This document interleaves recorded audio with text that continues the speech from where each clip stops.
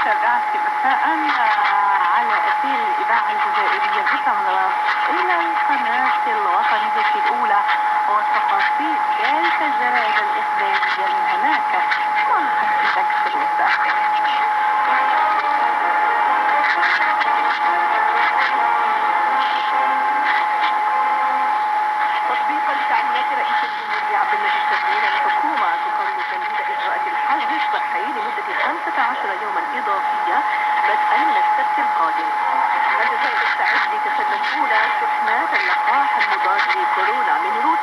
والصين ولجنة رفض متابعة الفيروس تسجل تراجعا في عدد الوفيات.